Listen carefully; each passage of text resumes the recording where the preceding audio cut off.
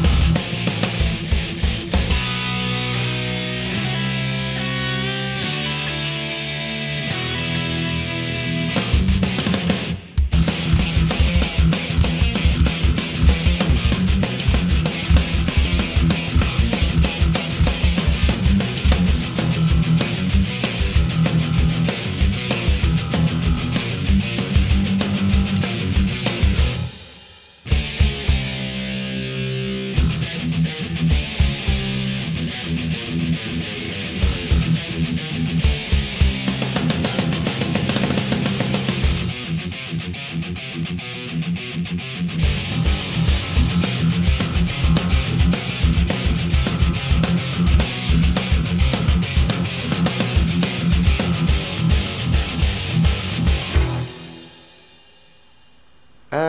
you're looking for this one?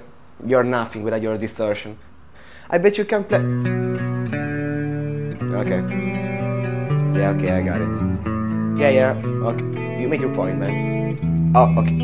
Okay, bye, bye, bye. But I'm gonna keep this one.